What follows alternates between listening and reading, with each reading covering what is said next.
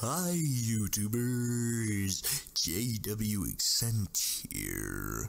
Anywho, this creepy pasta was requested by a Mr. David Phillips, but you know him on YouTube as Ice Cold 963.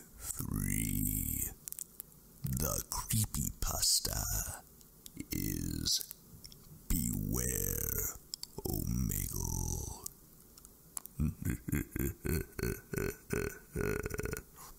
Hello. Please listen to me. It's for your own good. I feel compelled to warn you of the danger that was recently unleashed upon the internet. I don't have much time. I feel that he draws near. I like to surf the internet, as most people do.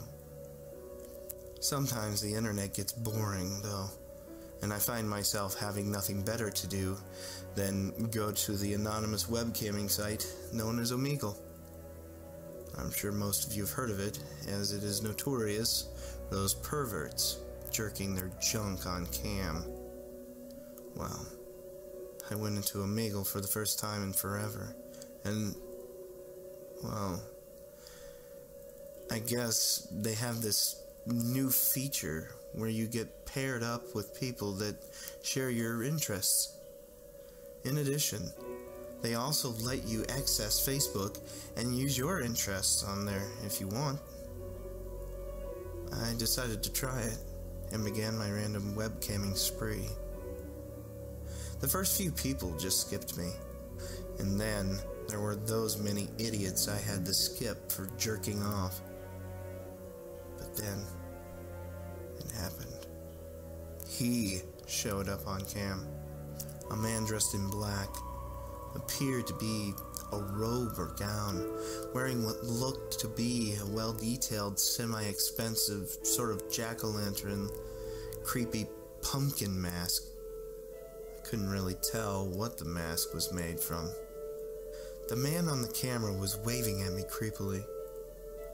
I had kind of gotten freaked, but then laughed and asked if he could take his mask off.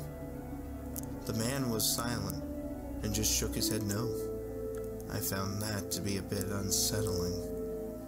Time passed, and I thought I had caught on. I laughed, asking the man if this was a prank, but the man had motioned for me to be quiet when I did so. I had typed to the man saying I was going to skip to the next person, then typed again saying, But this is just too funny. The man then typed back, I know where you are. For the next three days, wherever you go, I will follow. Whatever you do, I will be watching. I will know where you are, who you're with, what you're doing, and when you're doing it. And all you will ever see of me is this mask. Then, after three days, I will kill you. As if that weren't enough, as I finished reading and went to go to the next chat, I noticed that my webcam was mirroring his. He was somehow now broadcasting from my webcam as well.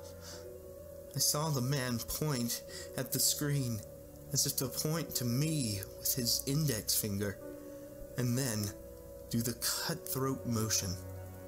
At this point, I took this as something more serious and was now on edge.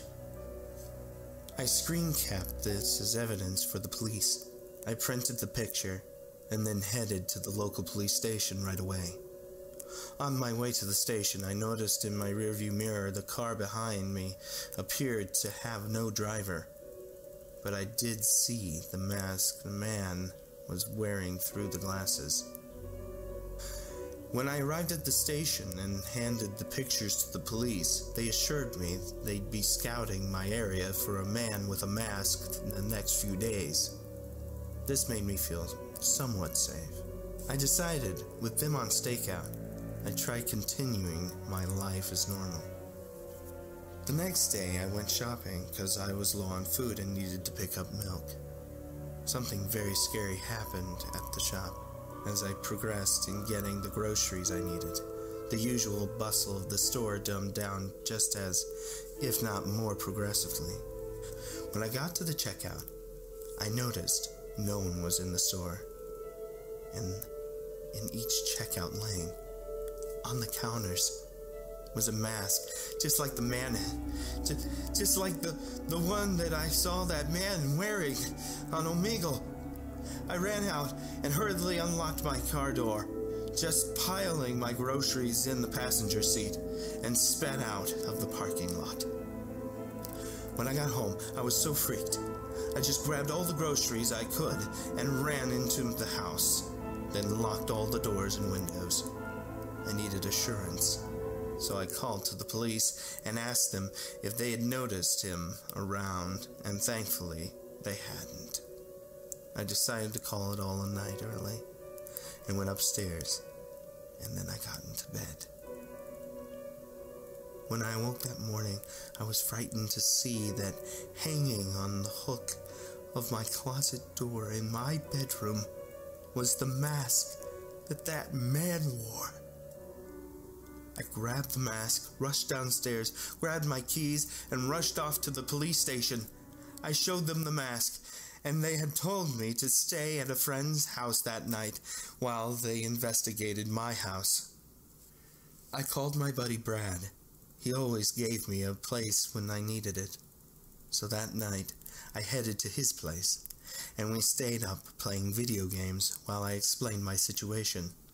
To my shock, he said he encountered the same man just a day before I did, which would make this the third day. Later that night, we were asleep. I was awoken to a loud noise coming from Brad's room. Scared, I crept upstairs to check on him. I was horrified at what I saw.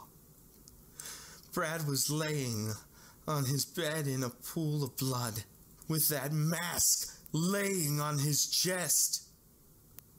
Today, it is my third day and I'm sitting at the police station on Brad's laptop typing this to warn you all. Beware of the Pumpkin Man.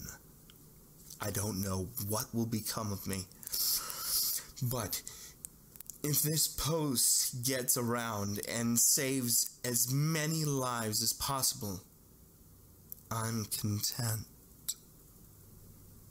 Hi, YouTubers! JW Eccent here. I hope you enjoyed that creepy pasta. It's probably the most random and creepiest. Anywho, um, if you enjoyed this video, go ahead and submit and remember to like and comment. Uh, you know, you know, if you didn't like it, go ahead and give it a thumbs down. I don't mind. Actually, I do mind. You know what? That's pretty rude. Uh, anyway, no, no, no, no, no. Just scratch that. Uh, rewind. Uh, then fast forward and, and listen to this. Okay, guys? I want you to have a good day. All right?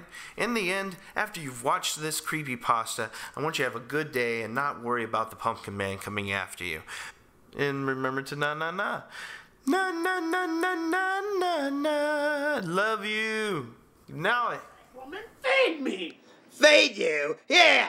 You want food? I'll give you food. Take that and take your cats and get out of my house. I'm tired of you living here, Margaret. I'm not dealing with the bullhookies.